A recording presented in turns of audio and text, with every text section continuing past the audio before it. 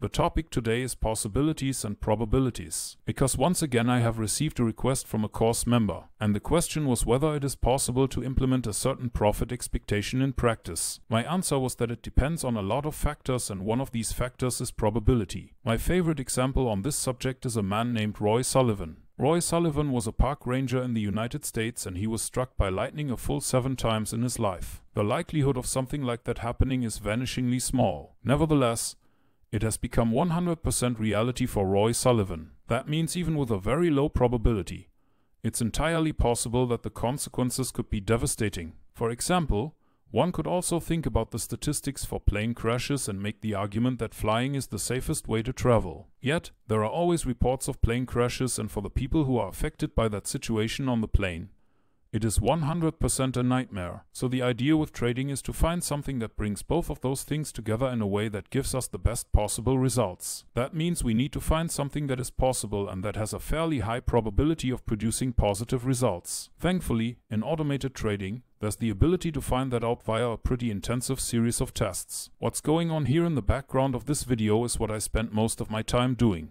In fact, programming an automated trading system is not that time consuming. Most of the time is spent on thorough testing, and the goal is always the same, to increase the probability of a good result as much as possible and to make the system as stable as possible. Of course, many people will now say with the results from this video that the profit expectation is too low and that one could get much more out of such a system. But I can argue that I have been testing this system intensively for only 3 months. That means I have already done many 100 test series like this one. I'm currently doing that on 3 different computers with 3 different account types. And it's always about making the system a little bit more stable and less about getting a few more dollars out of it in profit expectation. In fact, with what you see on the screen here, I'm able to trade in different currency pairs from the turn of the millennium historical data to the present day without the system going down the tubes. And the goal here is to get a system stable enough so that you can ensure stable operations over long periods of time. Beginners are often on the hunt for a quick profit, but professionals like Ray Dalio know that the key is to find something that works for the long term based on fundamental laws. If you have the time and the inclination,